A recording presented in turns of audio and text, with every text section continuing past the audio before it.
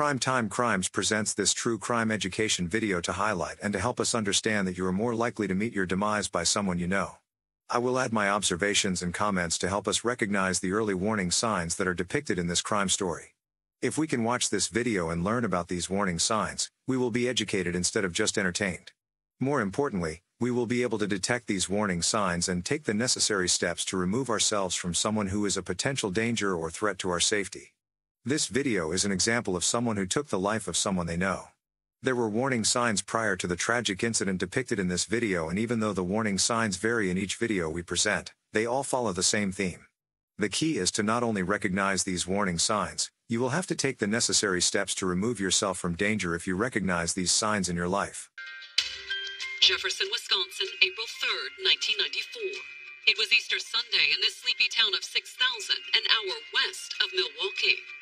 Jefferson is typical small town USA, mostly rural. There's no big city atmosphere at all. It's gorgeous, it's pastoral, and it's generally very quiet.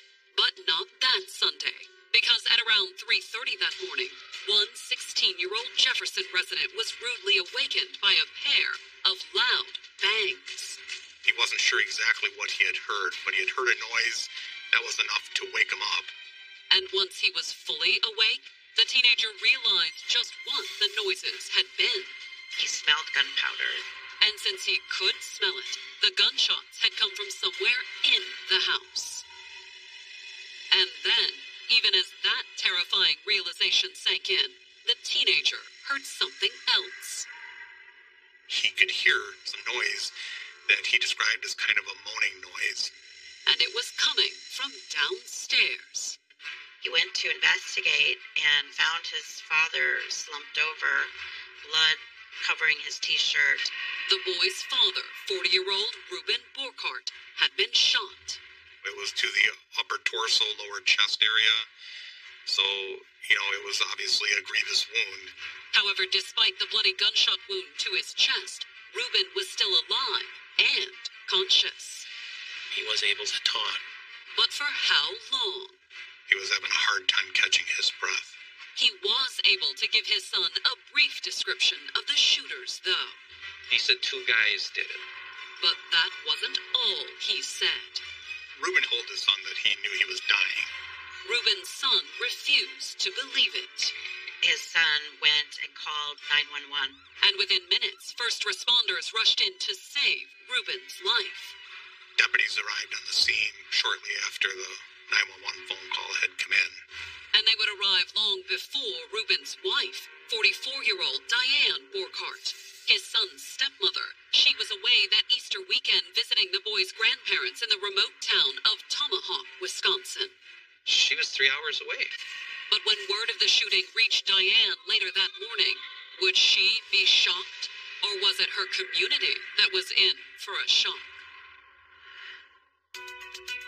Born in 1949, Diane Pfister grew up about an hour south of Jefferson in the small town of Rochelle, Illinois. That's where her family lived. After high school, Diane married and settled down. But happily ever after wasn't in the cards. Her first husband died. It was a work accident. He was a utility worker, got killed on the job. Soon after the accident, Diane, still in her 20s, left Illinois when she got a job in Jefferson, just over the state line in Wisconsin. She started working at Schweiger's Industries, which was a uh, furniture factory. She worked in the office. She was the secretary. And it was at Schweiger that Diane first met Reuben Borchardt, who worked on the factory floor as a carpenter. Four years younger than Diane, Reuben had lived in Jefferson his whole life. Reuben was a hometown boy. His family is, is local. Jefferson, especially in the 50s and 60s of Reuben's childhood, was an idyllic place to grow up. It's a beautiful place with rivers running through it and nice bike trails for people, lakes to sail and fish. And Reuben was the all American boy. Reuben was a happy kid. He was nice. He was gentle. He was kind. He went to uh, Jefferson High School. He married a Jefferson girl. Reuben's first wife was on the cheerleading squad, and they met in high school, and they were high school sweethearts. It's that kind of place, you know, sort of iconic heartland America. Reuben and his first wife married young and had two children. But then, in 1979, when the couple was expecting their third child, tragedy struck. His first wife died in a car accident. It was in the winter. We had a snowstorm, and the wind was blowing pretty good. The death of his wife and unborn child left Reuben devastated and desperate. There he is, a young man with two very small children to raise. For comfort and support, he turned to two things. The first was his faith, He was a very religious man. and the other was Diane. When Reuben met the factory's new secretary, it wasn't long before he realized they had something in common. Diane and Reuben both lost their spouses. After he lost his wife, Reuben turned to Diane, who'd gone through a similar loss just two years earlier. They were both kind of on the rebound. However, what started out as advice and support swiftly turned into something more. He needed help with the kids and stuff, and uh, that's how the relationship started. Reuben was, you know, looking for someone maybe to take the place of his wife. And soon after they started dating, Diane essentially did just that. She, you know, moved in and started taking care of those children. And since they were both less than four years old, they were too young to have many memories of their real mother. She sort of took over that role. Diane had just turned 30 when she married Reuben in October of 1979, less than a year after the accident. It was kind of a, a quick romance. Diane helped Reuben finish the new home he was building when his first wife died. With Reuben being a carpenter, their home had a lot of nice touches to it. including a nursery, because soon after the wedding, Diane announced that she was pregnant. Within a year of, of marriage, Diane and Reuben had their daughter. Once the baby was born, Diane quit her job at the furniture factory and spent the next few years focused on raising the couple's three children. But once her youngest daughter was old enough to start kindergarten, Diane took a new job at Jefferson High. She was a teacher's aide and a study hall monitor. She was popular with the students, too. She was, you know, bubbly, friendly. She was somebody that, you know, the kids felt very comfortable talking to. She's known as Mrs. B. And while she wasn't officially the guidance counselor, the students often took their troubles to Mrs. B. She was very kind to the students, would even give them advice, listen to their problems. In 1988, the 38 year old also opened a side business. She had a print shop that was called Mrs. B's T-shirt shop, and uh, she printed T-shirts for local events. And if anything, that made her even more popular with the town's teenagers.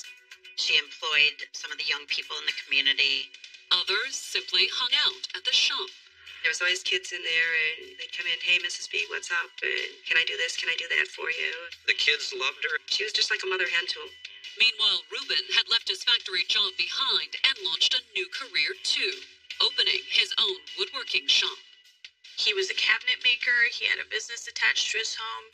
And by the fall of 93, after 14 years of marriage, it looked as if the couple had put their past tragedies behind them. They have sort of this relatively typical blended family that's typical of America in many ways. Most people thought they were Barbie and Ken, that they had an ideal relationship, they had a good family life, they were churchgoers, everything was great. It was really a very uh, good life. But on Easter weekend of 1994, while Diane and her youngest daughter were away visiting her stepchildren's grandparents, tragedy would strike one more time. Early on Sunday morning, April 3rd, 1994, the Jefferson County, Wisconsin Sheriff's Department received an urgent 911 call. Someone had apparently broken into Diane Borchardt's home and shot her husband, Reuben Borchardt. Reuben's son heard some sort of a noise, and he went to find out what it was and found that his dad had been shot. And despite two gunshot wounds to the chest, the 40 year old was still alive and able to give his son a description of the shooters.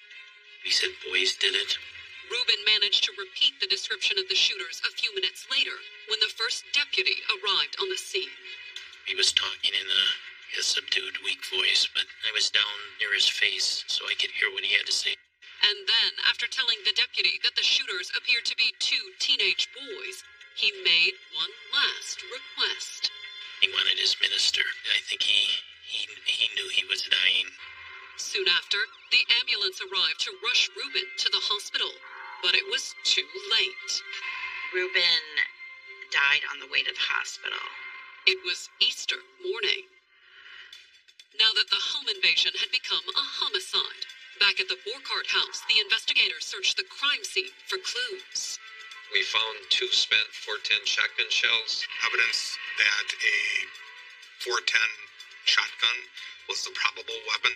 And then there was what the investigators didn't find. Nothing seemed to be out of place or anything. It didn't seem to be ransacked or anything like that. Nor was there any sign of forced entry. I didn't see any broken windows or open doors or anything like that. But if the killers hadn't broken in, was it possible that a door had accidentally been left unlocked? Jefferson is a rural community surrounded by farmland.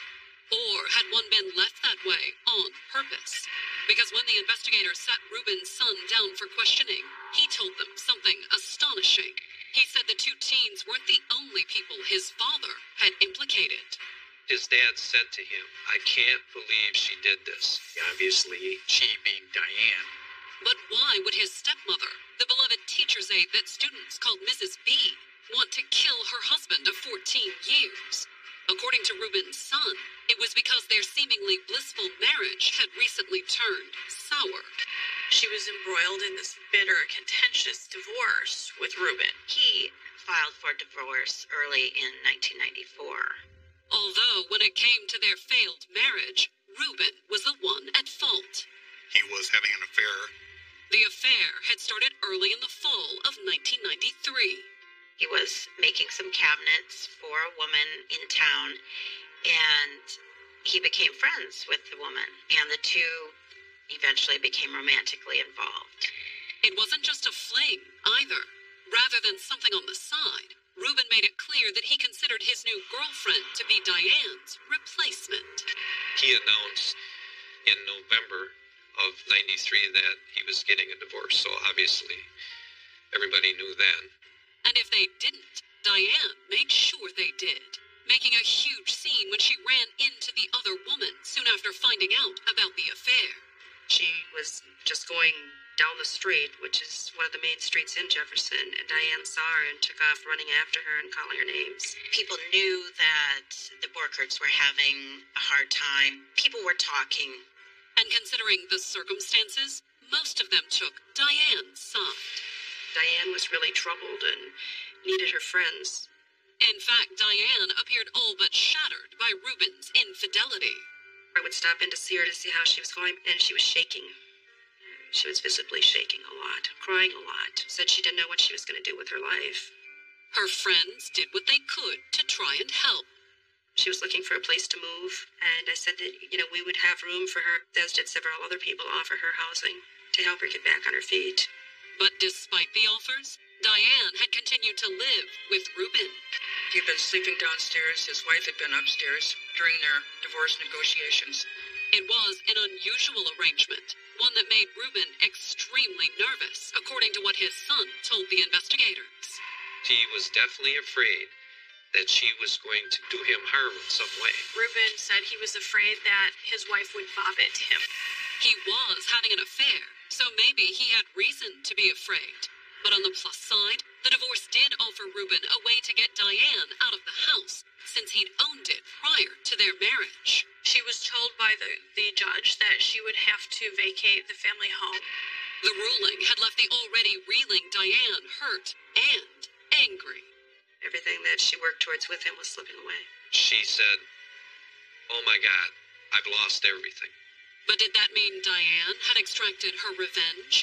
That's where things got tricky.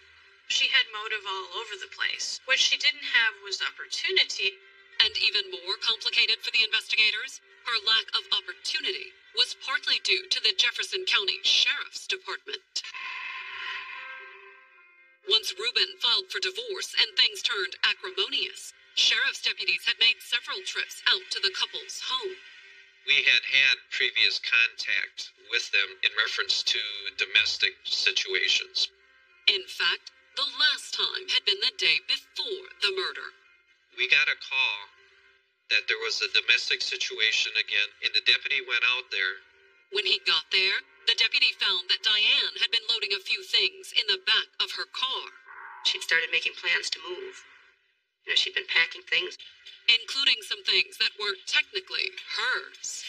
like the sewing machine that had belonged to his first wife. She put it in the trunk of her car, and she made it known to Reuben that she had it. Reuben said, You're not taking that sewing machine. They had a fight over that. And when the deputy arrived, Her story was Reuben hit me. but while she had the bruise to show for it, the situation was a bit more complicated, according to her stepchildren, who'd witnessed the incident. He went to get the sewing machine out of the trunk. He actually took the keys to get it out, and Diane jumped on his back and started wailing on him, according to the kids. And Reuben flung her off his back, and she fell to the ground. So that's how she got her bruise. In light of that, no one was arrested, but the deputy did decide it was best to separate Reuben and Diane. It was asked of her, Is there some place you can go for the weekend to cool this situation down? And curiously, she decided to take her daughter to see the parents of Reuben's first wife. They considered her a grandchild. And that's where the entire case against Diane suddenly fell apart because they lived three hours away in tiny Tomahawk, Wisconsin. Diane could not have physically done the homicide because she wasn't here. By dawn on the morning of April 3rd, 1994, it had only been a few hours since Reuben Borchardt's son had called 911 in Jefferson, Wisconsin, to report that his father had just been shot. It was around 10 to 4 in the morning when he made that call. According to what Reuben told his son and the first responders, the shooters were two young men. They told me about the people that shot him. However, while Reuben lived long enough to give the investigators a description of his attackers, the twin gunshot blast to his chest ultimately proved fatal. He died in transport to the hospital without ever giving more information or details about who did it. Not to the investigators, at least, but according to what his son told them, Reuben had blamed the shooting on his estranged wife, 44 year old Diane Borchardt. Reuben had said, I can't believe she would do this. And considering that pretty much the whole town knew that Reuben was having an affair and had recently filed for divorce, the investigators were inclined to believe him, too. We knew about the domestic situation that was going on between the two. In fact, the morning of the shooting was hardly the first time sheriff's deputies had been to the house since Diane found out about the affair. I don't know how many times we got called, but I knew it was a number of times. And that made her a pretty obvious suspect in Reuben's murder. She's the one who's got the most motive. However, the investigators also had a problem. She was out of town. And then there was the fact that Reuben had identified his killers as two teenage boys. It couldn't be Diane who had pulled the trigger. But that didn't mean she wasn't behind it. Obviously, we wanted to talk to Diane. Although by the time the investigators got in touch with Diane, three hours away in the town of Tomahawk, Wisconsin, she'd not only already heard the news that Reuben was dead, she wasn't exactly acting like a suspect. She was upset. You know, I could definitely tell she was upset. And she appeared willing to cooperate. She was supposed to come to the sheriff's department. But then, the appointed time for Diane's interview came and went, with no word from the widow. About 25 minutes later, I get a call from an attorney saying she's not coming. She lawyered up quickly. So, with Diane refusing to talk, the investigators shifted their focus to finding the shooters. We got together as a unit and we started talking over what we thought, ideas, this and that. And just about everybody came to the conclusion that this wasn't a professional job. And since Reuben had described his killers as boys, and Diane was a popular teacher's aide at the local high school, that determined the investigators' next step. I went to the school. I, I interviewed kids. And almost everyone had something nice to say about Mrs. B. She was someone that the kids trusted. They would confide in her. They said that she was a caring person who always wanted to hear what was going on in their lives. And according to the students at Jefferson High, Diane was always willing to share her troubles, too. She would break down and cry in front of the kids. Kids would come over and they'd say, What's wrong, Diane? Diane was very vocal and told them that her husband was cheating. She drew a lot of sympathy from them. And as the divorce grew contentious, the student said that Diane had asked for more than sympathy.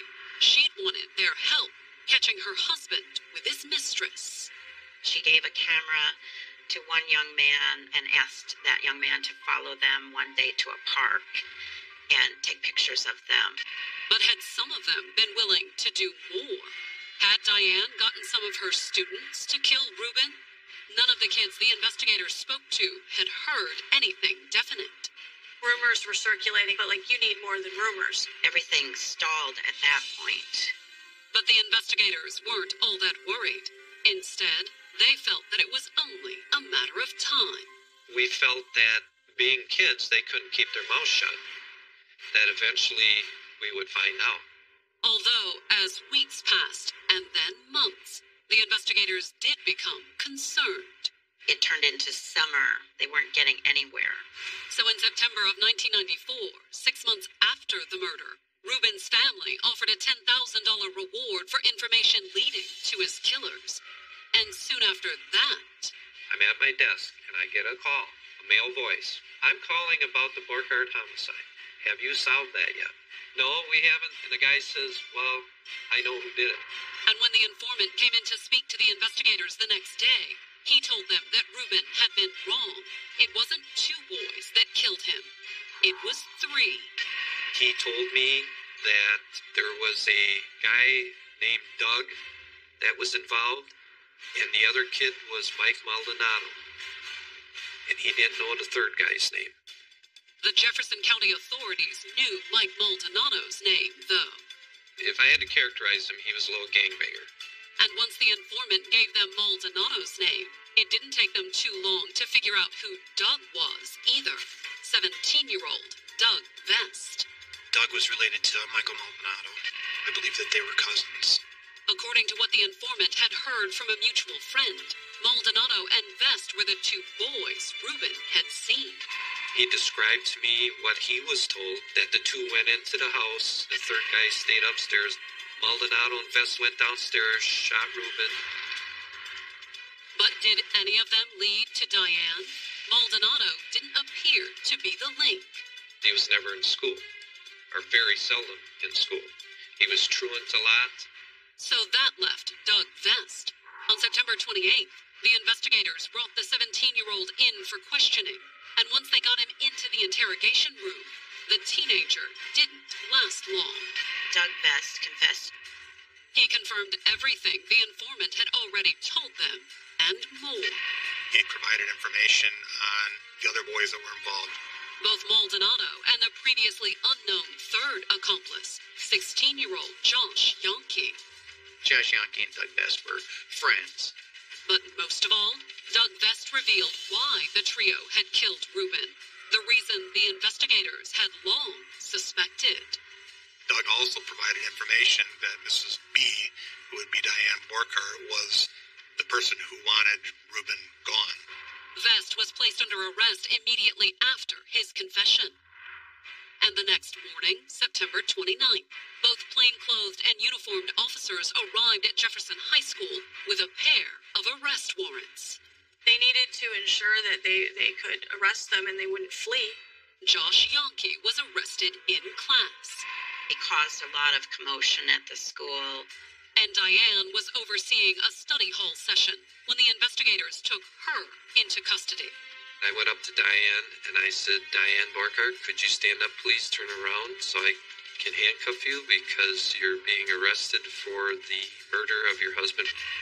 Imagine being in this small town high school where everybody knows everyone else and the police are showing up to arrest, you know, the teacher for killing her husband. It's unthinkable. Students loved Mrs. B, and they couldn't believe it.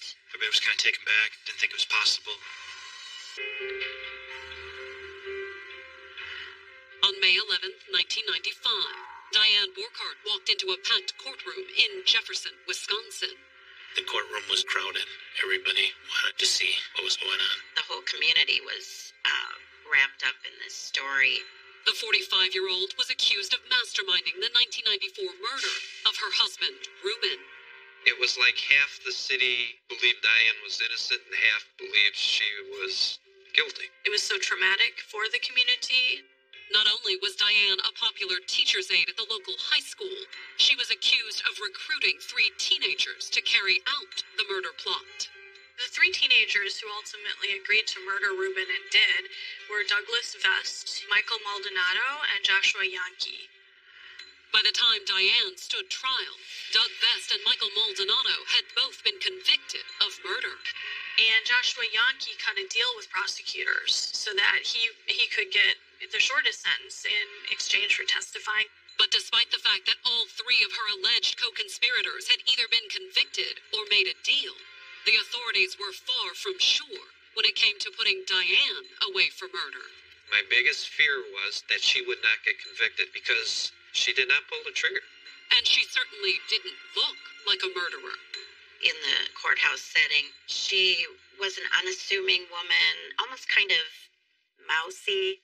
But according to the prosecutor's opening statement, beneath Diane's mousy exterior lurked a vindictive killer. Diane was cast as a very jealous person. And once she found out he'd been unfaithful, she wanted him dead. However, rather than kill Reuben herself, the prosecutors claimed that Diane had done something far more heinous trick three teenagers into committing the crime. A complete misuse of the authority she was granted as a teacher. And the investigators had two witnesses to explain just how she'd done it Josh Yanke and Doug Vest. Doug Vest, he's kind of a critical linchpin here. But how had Diane turned him into a killer? When he took the stand, Doug Vest appeared to be a typical 17 year old. Doug Vest was kind of an unassuming kid. Unassuming, but also vulnerable. Doug Vest apparently didn't have a great home life, and she knew that. In fact, it was something all three of the teenage killers had in common. She was able to sniff out the people that were the most vulnerable. She targeted single parent kids. And then, once she had identified a likely target, Diane set out to earn their trust. She had a lot of contact and time with a lot of the students in the study hall sessions. And during those study halls, she would talk to the students about their home lives and things that were going on in their lives. She would console them when they were going through problems. However, according to Doug, their conversation became less about his problems and more about hers. She slowly manipulated Doug into feeling sorry for her. And not just over her husband's affair either. She'd say, Well, Reuben beat me up again last night. She would present herself as an abuse victim. Doug Vest bought into her story pretty good. And then, once Doug had bought into her story, she started to talk about maybe he could help her get out of this situation. Then she escalated that to, Will you murder him? Although, even with all the groundwork Diane had done to groom him, Doug testified that he'd initially balked at the prospect of committing murder. Doug was very resistant and reluctant at first. But Doug said that Diane was persistent. He describes essentially that Mrs. Borchardt had five or more discussions with him about uh, getting rid of her husband. Although, since pleas to his sympathy hadn't worked, Doug said she had eventually taken a different approach money. She told him, You kill my husband, I'll get this life insurance policy, I'll get the payout, I'll give you $20,000, two cars, and my engagement and wedding ring. And according to Doug, she'd even paid him a little money up front. $600 in cash? It wasn't much, but when coupled with all the things she'd told him, it was enough to convince Doug to become the point man in Diane's murder plot. Doug went out and he recruited Josh Yanke and Mike Maldonado. I suspect the real motive wasn't wasn't so much greed as being emotionally manipulated by a very predatory woman who is much older. Whatever the reason, Doug Vest testified that once the other two teens were on board, they'd gone to Milwaukee and used part of Diane's $600 to buy a sawed off shotgun from some of Maldonado's gang connections. Even though he's the youngest of the three in chronological age, he's not the youngest in terms of his life experiences. According to Doug, once they'd acquired the murder weapon, Diane had deliberately provoked a confrontation with Reuben by taking his first wife's sewing machine. She was trying to set her alibi. Then, once the sheriff's deputies had complied by suggesting she get out of town while things cooled off, She took her child with Reuben and went to visit the parents of Reuben's first wife, which is odd in and of itself. and while Diane was conveniently three hours away, Douglas Vest, Joshua Yanke, Michael Maldonado go out to the Borchardt residence and kill Reuben Borchardt. on the stand, Doug Vest walked the jury through how the murder had gone down.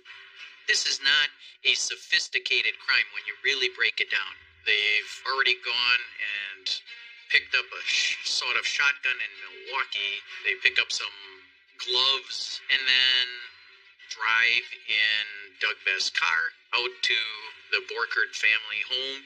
Although Doug testified that outside the house on that still spring morning, he and Josh had started to have second thoughts. There's some discussion between them about whether they should go in, shouldn't go in. And Michael Maldonado, even though he's actually the youngest of the three, takes the shotgun, says, We're going to do it. So while Josh waited outside, Doug Vest and Michael Maldonado go into the basement where they're expecting to find Reuben Borchardt. according to Doug, they did find him, just not the way they expected. He is already awake. He's getting up to go to sunrise service for Easter. Unfortunately for Reuben, he wouldn't live to see the sunrise. The first shot was center mass in the sternum area. Reuben went down. The kids backpedaled up the steps, and as they're backpedaling up the steps, Reuben got up. Maldonado then fires another shell at Reuben. The second shot, that put him down. Maldonado and Vest beat feet up the stairs, get into the car, off they drive, and along the way, throw the gloves out the window, throw the shotgun out the window. The murder weapon had never been found. Doug Vest had told Diane what they did with the weapon, and we feel that she went and found the weapon and disposed of it. Once Doug finished telling his story, Josh Yanke took the stand too. Mr. Yanke's statements corroborate Mr. Vest. But could either of them be trusted? That was the primary thrust of the defense's opening. The defense goes, a bunch of murderers and liars ask you to believe that what they're telling you is true. According to the defense, Vest and Yanke were simply trying to shift the blame to Diane. When you get caught, the first thing you want to do is spread the blame. And so you can point the fingers at people who aren't even involved simply as an effort to save your own skin. Diane had certainly acted incredulous during their testimony. She would roll her eyes, shake her head at things that the prosecutors said. But that was all she would do. Diane never testified in her own defense. And while the defense didn't deny that Diane had told Doug Vest about Reuben's infidelity, She maintained all the way through that she was not involved, that she wasn't even home that weekend. She had nothing to do with it. What is she going to say other than I confided in them and I was saying, you know, I have all these marital troubles, but I never thought they would would actually go kill him. That they just took what she said and then ran with it themselves. on May 20th, 1995, the jury in Diane Borchardt's murder trial announced that it had reached a verdict. The 45 year old teacher's aide was accused of masterminding the murder of her husband, Reuben. And at times during the two week trial, it seemed like the entire population of rural Jefferson, Wisconsin had packed into the courtroom to hear the shocking testimony about how Diane had allegedly turned three teenagers into hitmen. plotting and manipulating and using these kids to kill her husband. The whole community was in shock and disbelief. We had people that just couldn't believe we arrested Diane. There's no way she's involved. So, when the verdict was read, You could hear a pin drop. and when the jury found Diane guilty, The gallery, it was like, oh my God. It was the culmination of this year long mystery. Diane appeared devastated by the verdict, She put her head down and started crying. and the community was divided. Everybody had an opinion, and half believed she was guilty, half believed she wasn't. When I was running for district attorney and I was out campaigning, I knocked on a door in Jefferson. I introduced myself and said I would like their vote, and their comment basically was, uh, yeah, I remember you. You're the one who prosecuted Diane Borchardt, and they slammed the door in my face. However, at Diane's sentencing on August 1st, the judge had no doubts that the jury's verdict had been correct. The judge said the, the evidence was overwhelming. He said she was a manipulative, cold woman, and he sentenced her to life in prison. She's by far, you know, the, the most evil, manipulative perpetrator in this. Evil, but also foolish, because it was Diane's manipulation that ultimately doomed her. Her fatal mistake for her was hiring teenage boys. I mean, teenagers, they're going to get caught. They make mistakes, they lie up to each other, they brag, and that's what happened in this case. Unionville, Tennessee, August 8th, 2012. It was a quiet Wednesday afternoon in this tiny community of 1,300, an hour south of Nashville. One of those small towns where if you blink, you'll miss it. There's just like two gas stations and a post office. The kind of town where nothing ever happens, at least not usually. Fairfield County 911, where is your emergency? What's going on, ma'am? The first person on the line was screaming and incoherent. The distraught woman on the phone was 54 year old Susan Walls. She was hysterical. I don't think you could really make out what the nature of the call was. And when the operator asked her to slow down, You're going to have to calm down, okay? Susan handed the phone to her 27 year old daughter, Dawn. Dawn gets on the line, and you can understand her a little bit better. Sit down, honey. What's going on? I live in Asheville, and I'm home to myself. She went to Nashville uh, to spend time with her daughter's children. I'm going to go to the East. One of them was having a birthday party at Chuck E. Cheese. But when Susan and Dawn got home that afternoon, It's like someone's on in or something. Things appear to be ransacked. There's furniture everywhere. I mean, there's stuff like falling out. although according to Dawn, whoever had ransacked the house appeared to be long gone. They're not still there. No, ma'am, nobody's here. It's just me and my mom. All right, honey. I'll get you an officer out there, okay? 911 dispatches it as a theft call. And the deputy nearest the scene responded accordingly. The first deputy who goes out there, he took his time because he thinks he's responding to a theft call that's already occurred. But when he arrived at the house almost 30 minutes later, When he pulls up in the driveway, there's Dawn and Susan. They're crying, hysterical. and once the deputy went inside the house, he discovered why Susan was crying. She has just found her husband dead. The deputy found 55 year old Larry Walls inside the house, sprawled dead on his bedroom floor. He had been stabbed and beaten severely. Blood was everywhere splattered all over the place. But was the bloody scene really the result of a random home invasion? Or was there a deadly secret lurking in Larry and Susan's past?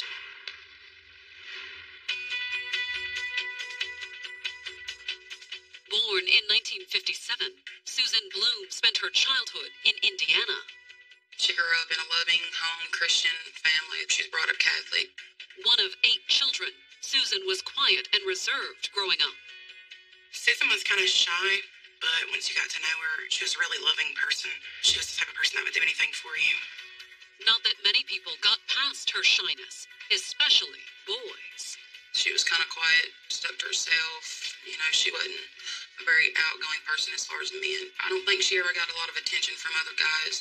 In fact, it wasn't until 1982, when she was well out of high school, working and living on her own, that she finally caught the eye of one young man, Larry Walls. They met at a bar. Born the same year as Susan, Larry had grown up not far from her in the town of South Bend. He worked in construction. He was a hard worker. And when he met Susan, things quickly became serious. They seem to be getting on pretty good. Within months of meeting, Susan and Larry were married.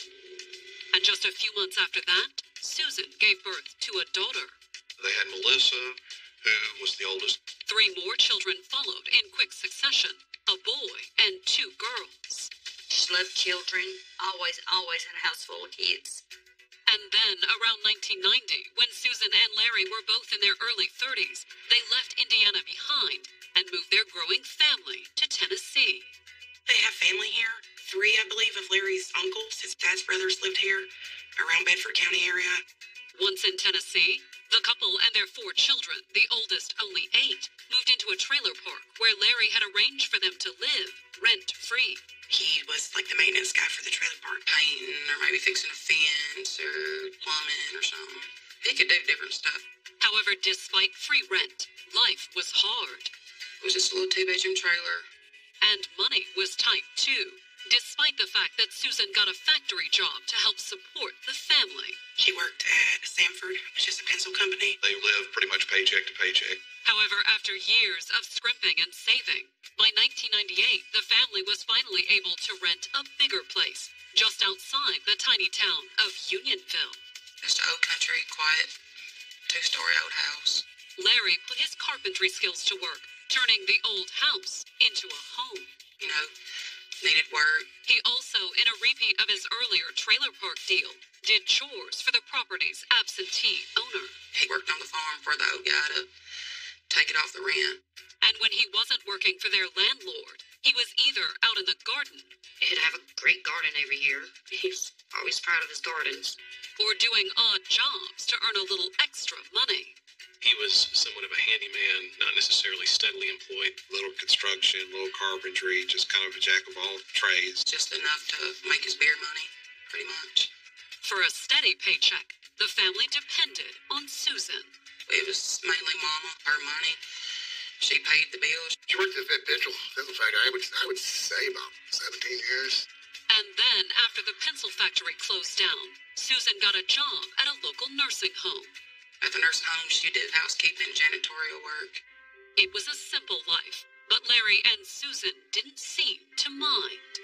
They were just working class folks. They just seemed to be your typical family. And by the time Susan turned 54 in 2011, she'd been with Larry almost 30 years. There was some good times. And with the kids all grown, it looked as if Susan could finally afford to take it easy. Oldest daughter Melissa was already out on her own as was her sister, Dawn. Dawn moved to an apartment in Antioch, Tennessee, which is a, uh, a suburb of Nashville. She had a couple jobs she worked at. She always worked, supported herself. The couple's 28 year old son still lived at home, but he was supporting himself. He lived with them and he worked for um, an uncle doing construction. Susan and Larry's youngest daughter was still living with them, too. She had been living with a boyfriend. They had broken up, so she moved back home uh, with her children. It was a situation that the children's grandparents wasted no time taking advantage of, especially Larry. He was a pretty good granddad. He liked to take them to his garden and, and let them play in the dirt and things like that. But Larry wouldn't be doting on his grandchildren for much longer, because in August of 2012, just as a comfortable retirement was starting to seem possible for Susan, she would come home to find that her husband had been beaten to death.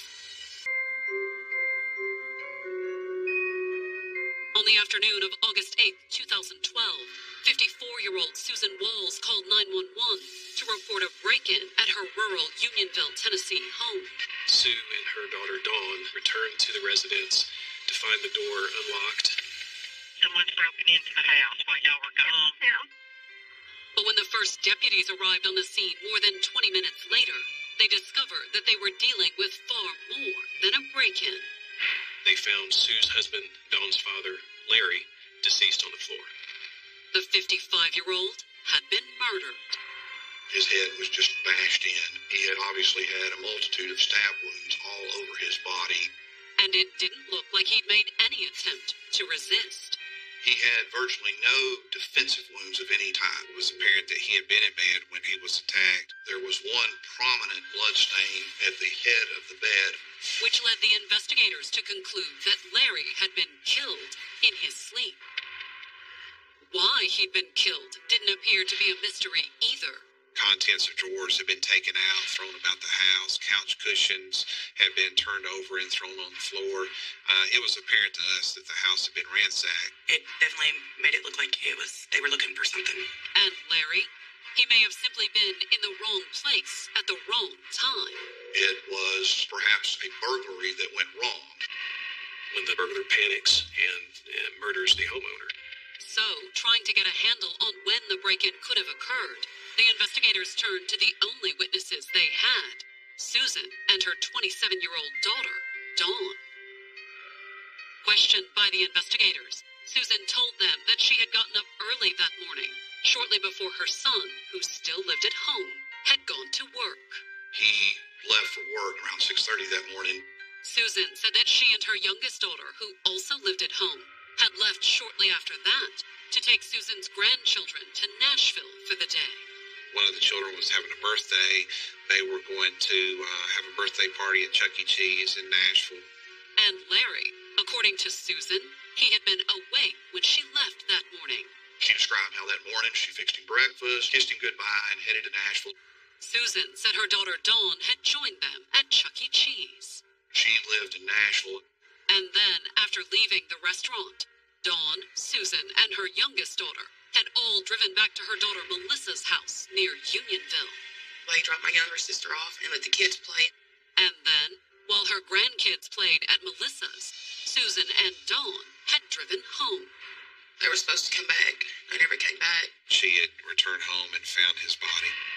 The house had been robbed and he'd been murdered. But who would do such a thing? Susan couldn't say. She said, I don't know who could have done this. Although naturally, as Larry's spouse and the person who found his body, the investigators had to consider Susan a potential suspect. Could she have had anything to do with his death? She told us they had a good marriage. She said, We're like any married couple. We fight about different things, but, you know, overall, we have a loving relationship. And when the investigators questioned Dawn, she backed her mother up 100%.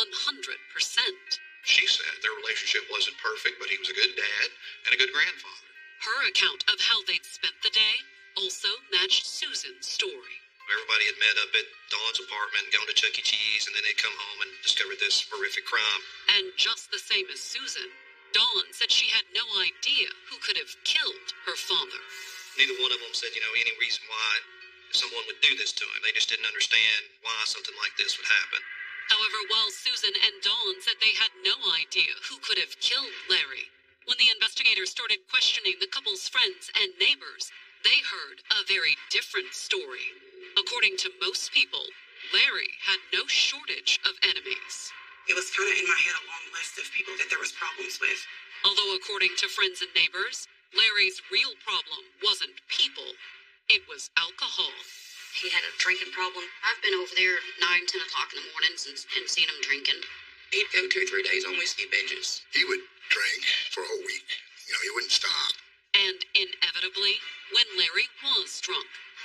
his problems with people began. He was a good guy when he wasn't drunk. When he started that drinking, though, he would always just try to start something. Which meant that there was no shortage of people with a grudge against Larry. He had been into a fight a couple weeks before that with his cousin's husband, Larry's nephew. Him and Larry had been into a really violent fight a couple weeks before. Was it possible that rather than a robbery gone wrong, someone Larry had picked a fight with had broken in and settled things once and for all?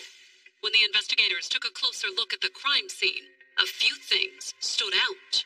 The house had been ransacked, but everything of any values was still in the house. They ransacked the house so that it would look as though they were there to steal. But they hadn't come to steal. Instead, based on what the medical examiner uncovered in Larry's autopsy, the intruders had clearly come looking to kill. The medical examiner determined he had been stabbed 49 times. Any one of the stab wounds would have killed him. In fact, it appeared that the intruders had been so determined to kill Larry that they'd more than finished the job. Some of the wounds appeared to be post mortem. It was an extremely violent crime. There's something more to this than just a stranger committing a home invasion of this home and in the process murdering Larry Walls. But while the investigators suspected Larry's murder was more than just a home invasion, they only knew two things for certain. One was that the bloody scene offered no clues to the killer's identity. There were prints. Couldn't identify them because they were smeared.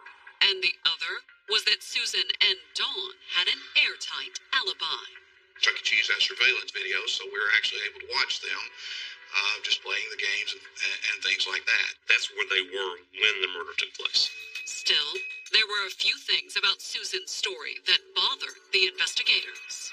She talked about preparing Larry's breakfast that morning. She talked about him being up out of bed. Yeah, it was apparent that he had been in bed when he was attacked. And then there was her 911 call. In the 911 call, she spends most of her time explaining where they've been that afternoon. What's going on, ma'am? Don't know I was going to visit with my daughter. Her daughter Dawn did the same thing when she took the phone. I live in Asheville, and my boss must have heard my younger sister. It was more building up an alibi than establishing what had happened at the residence. Was Susan and Dawn's alibi as staged as the robbery? The investigators were starting to wonder. That did throw up uh, a few red flags. However, the investigators had barely begun to suspect Susan and her daughter knew more about Larry's death than they let on when something happened that would break the case wide open. By the evening of August 9th, it had been a little more than 24 hours since sheriff's deputies had discovered Susan Wall's husband, Larry, brutally slain in the couple's home outside rural Unionville, Tennessee. It was a very, very bloody murder. Mr. Walls was stabbed 48 times. And while it had initially looked as if the murder was the result of a robbery, Everything was turned upside down. The TV was overturned. Just stuff was everywhere. the investigators were starting to suspect that Susan knew more about her husband's death than she had initially let on. Not only had the supposed robbers come and gone without taking anything, Susan seemed strangely preoccupied with establishing her alibi.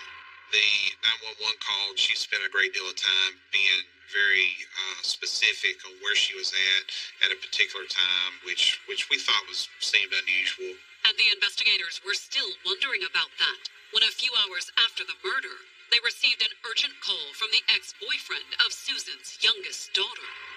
When he found out that, that Larry had been killed, he contacted the sheriff's department. He told us about a conversation that he had had with Susan a couple of weeks prior to Larry's killing.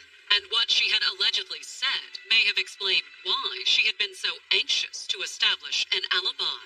She told him or confided in him that she had found a couple of guys in Nashville who were going to come down and, in her words, slit his throat.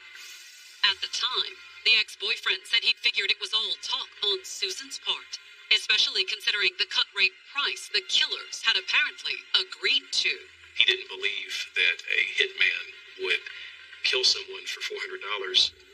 That was a cheap, cheap price for a life. But then, when he heard that Larry had been murdered, He realized that, yes, indeed, perhaps there is a hitman who would kill someone for $400.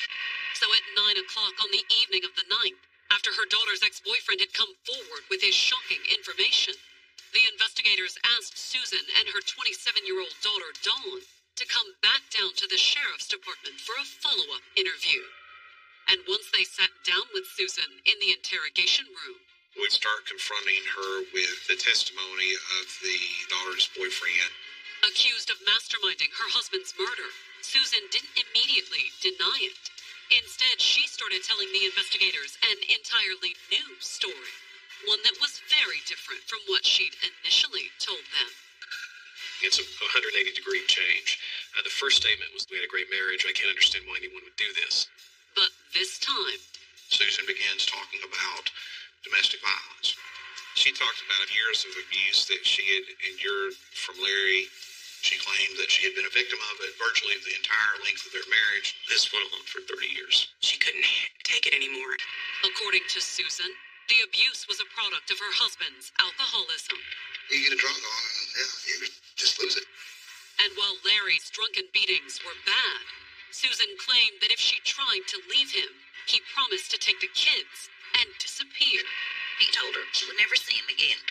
And if she ever tried to report his abuse, Larry threatened to kill Susan if anyone talked with the police. I think she truly believed if she left and took the kids, he would find her and he would kill her. so according to Susan, she had lived in a nightmare for 30 years, mostly to protect her children.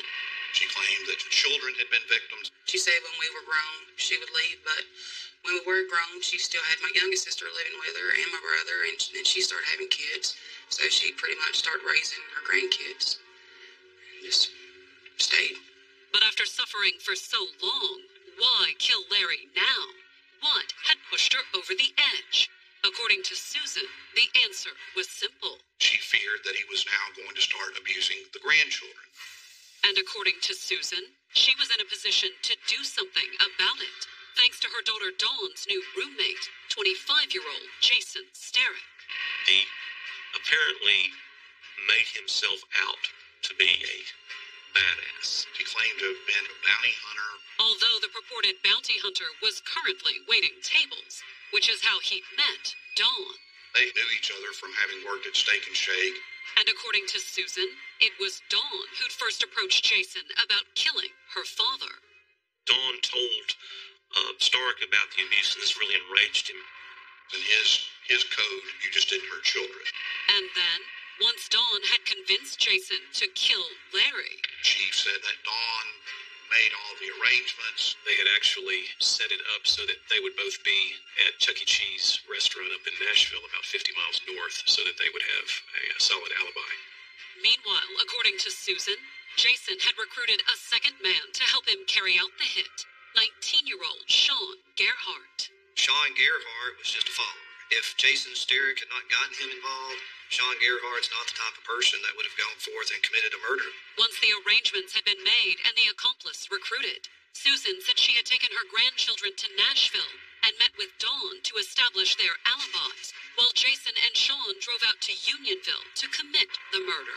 We think Larry was asleep when they came into the house. They stabbed him nearly 50 times. They beat him in the head so many times that, as I recall, the medical examiner could not determine the number of wounds he had to his head. And when they were sure Larry was dead, Jason and Sean went their separate ways. And then Sean returned back to Nashville to Chuck E. Cheese, met with Sue and Dawn, and informed them that indeed Larry had been killed. Questioned after her mother, Dawn essentially confirmed everything Susan had just said. We confronted her with the fact that her mother had confessed. As a result of that, then Dawn confessed to her role in having Larry killed. Dawn, according to her confession, had served as the middleman, arranging all the details of the hit. She confessed to having conversations directly with Jason Sterrick. Um, and a, an agreement was reached between her and Sterrick that she would pay Jason $400 for coming down or going down to Unionville to kill Larry. And while she hadn't paid them up front, Dawn did cover their expenses. There were some supplies that he needed uh, to commit the killing, but he didn't have any money to pay for those supplies. So she had given him her debit card. They went to Walmart, where they purchased bandanas, rubber gloves. In addition to detailing the arrangements for the hit, Dawn also echoed everything that Susan had said about Larry being abusive. And she leveled a new accusation against her father. Dawn, in her second statement, did claim that Larry had sexually abused her. Once, when she was only 15. She had a lot of hate for Daddy. However, like her mother, Dawn said that her primary motivation was to protect an entirely new generation of victims the grandchildren. Dawn's version was that we just could not allow this to continue. Although, despite that, Dawn claimed that she'd had second thoughts on the morning of the murder.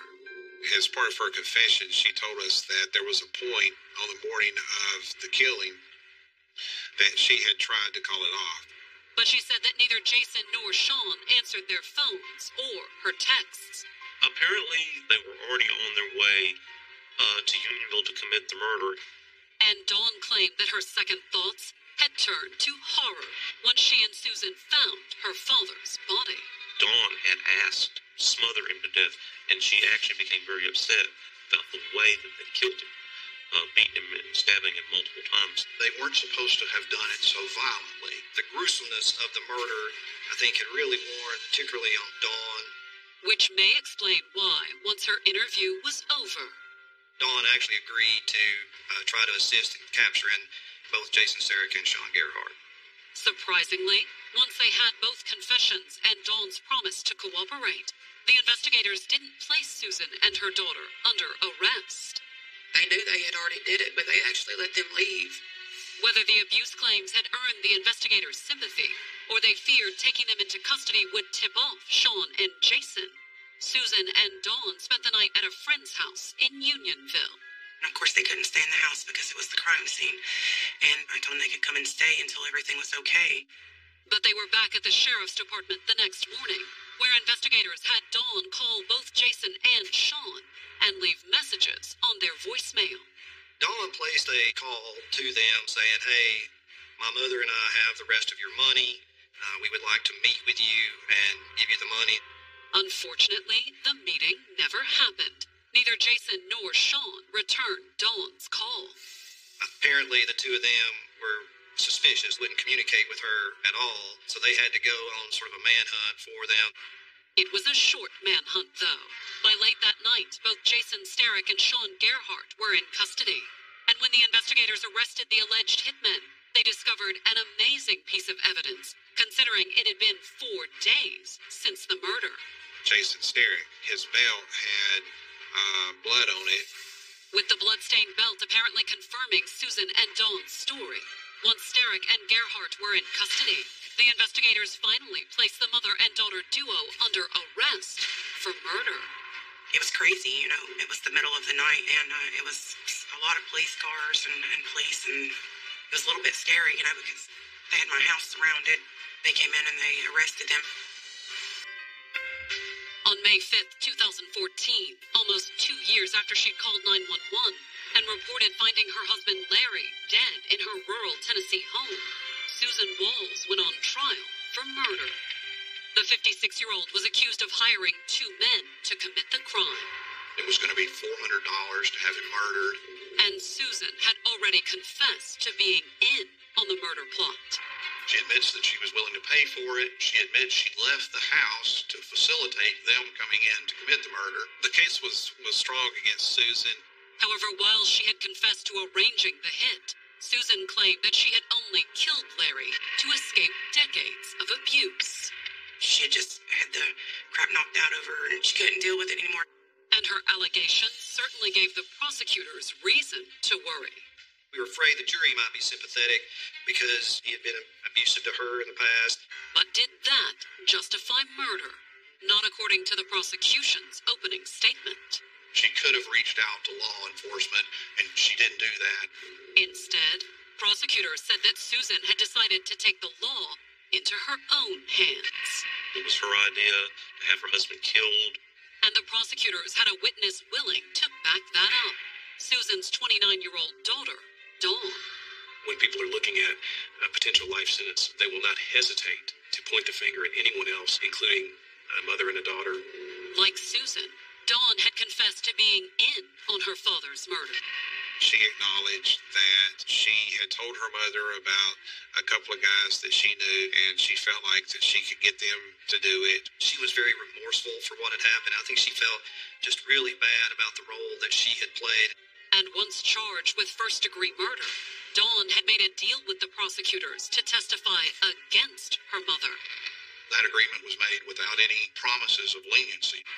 And that may have been wise on the prosecutor's part, because while Dawn did take the stand for the prosecution, her testimony focused on her father's abuse.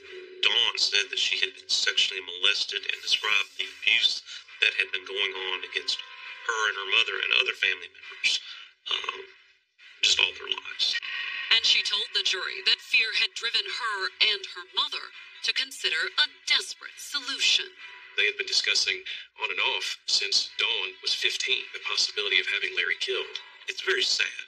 You had an entire family that had suffered under this man for 30 years, but they never told the police. They let it build up till finally she snapped. Dawn said it was the spring of 2012 when her mother had finally decided to turn their idle talk into action. There was one last incident of abuse where Susan had gotten a black eye. It was no worse than what she'd endured for years.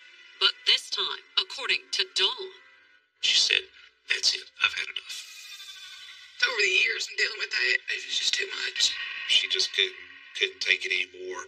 and according to Dawn, when Jason Sterrick said he was willing to kill Larry, her mother had leaped at the offer, and she had gone along with it, arranging everything according to her mother's wishes.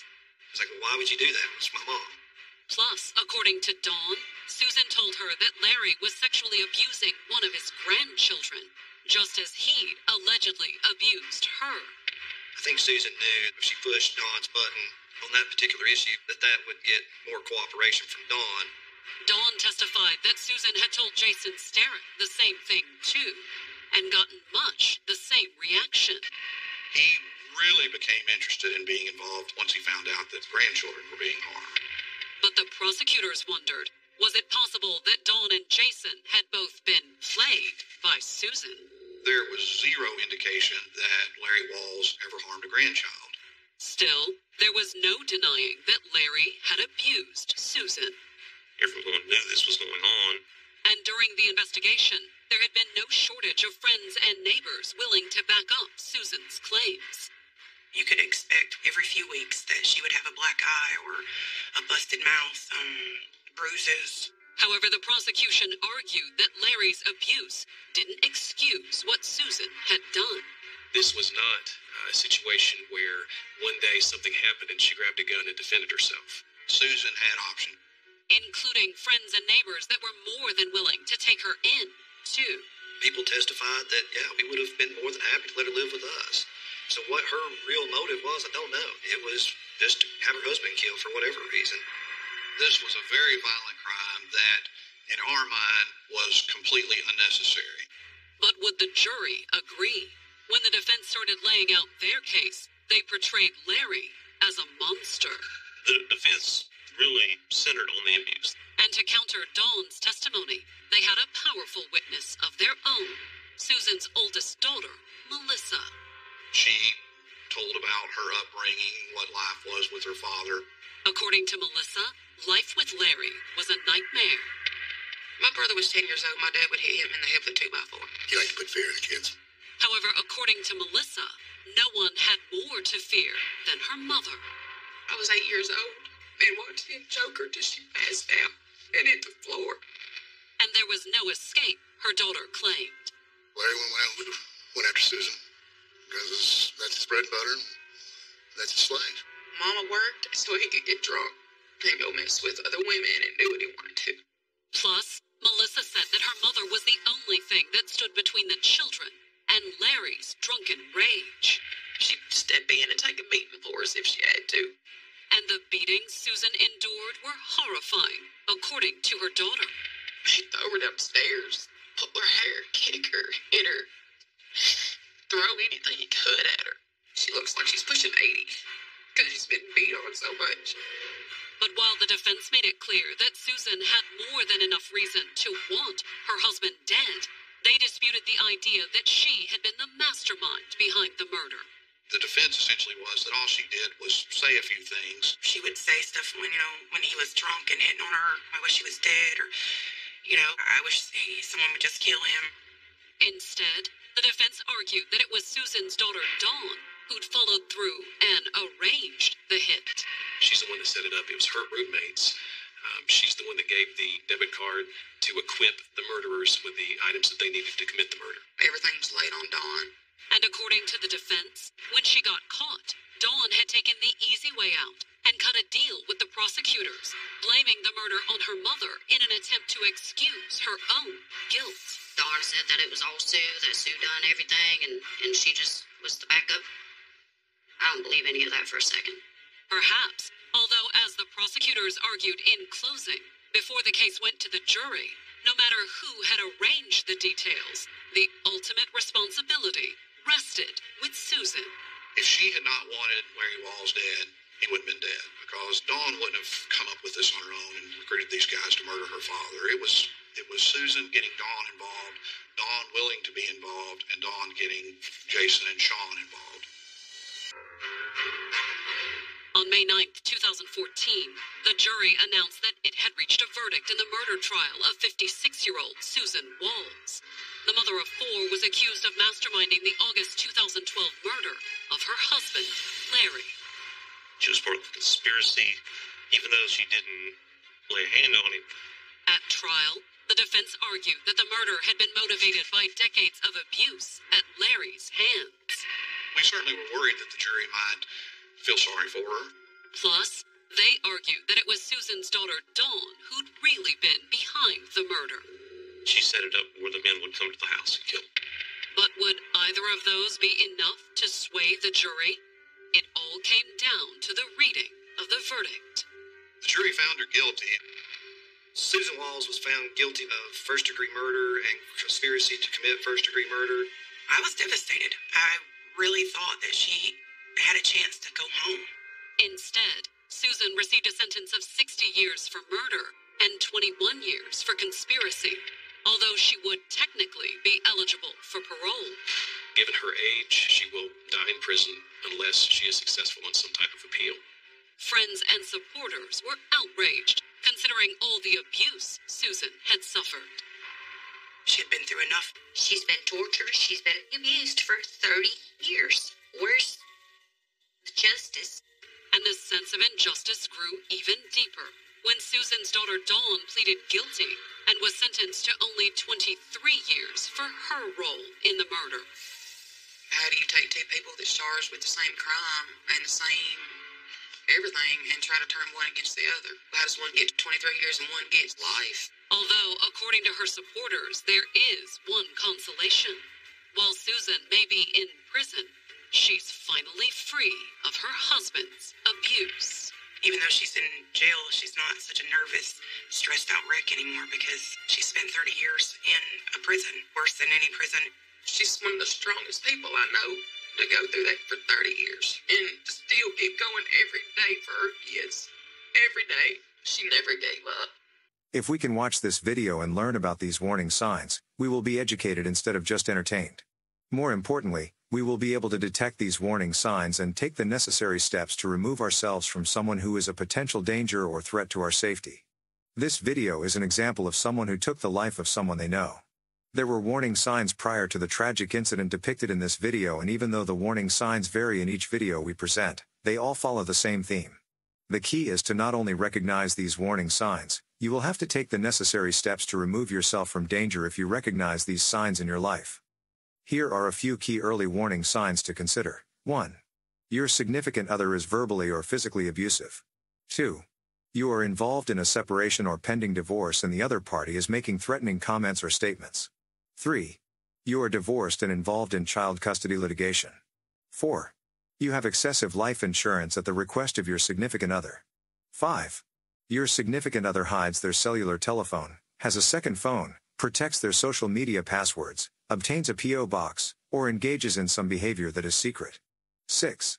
Your significant other begins to focus on getting into better physical shape or significantly changes their attire. 7.